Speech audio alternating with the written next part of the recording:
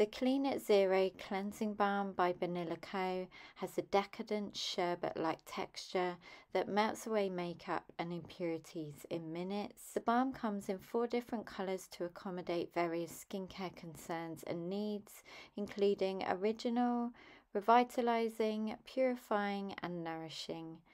The original K Beauty Cult Pink version is suitable for all skin types and is a gentle yet hydrating cleanser thanks to the added vitamin E, C, and active botanicals, and it's also paraben, sulfate, and alcohol free.